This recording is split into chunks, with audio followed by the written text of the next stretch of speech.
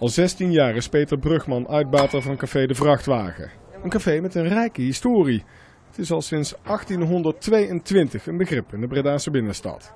Ik vind het eigenlijk, na 16 jaar dienst dat ik hierin zit, vind ik het eigenlijk een beetje belachelijk dat ik zo op deze manier behandeld word. Ik heb altijd betaald, ik heb nooit geen schulden gehad. Ik ben altijd correct geweest. Hè.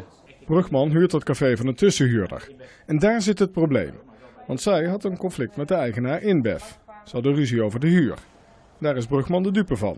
Samen met zijn mede-uitbaatster Jolanda Rodi. Je krijgt alleen maar via de advocaat eh, papieren toegestuurd, hè, via de mail. En met iemand om, om de tafel te gaan zitten, ja, dat eh, zoek het maar uit. Zijn jullie van plan om een van die contracten te tekenen? Nee, nee, niet op deze manier. We willen heel graag onderhandelen, maar niet op deze manier.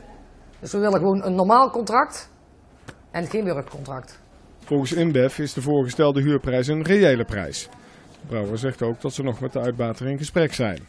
Koninklijke Horeca Nederland vindt dat de invloed van de brouwerijen sowieso al jaren veel te ver gaat. De vaste klanten van de vrachtwagen zijn een petitie gestart. En die is al meer dan 1700 keer ondertekend. Dat is geweldig. Hè? Luister, dit is, ten eerste, het is uh, mijn kostwinning. Ten tweede, het is heel mijn leven. Horeca, was, ik zit al 40 jaar in horeca. Dit is alles wat je hebt, wat je doet.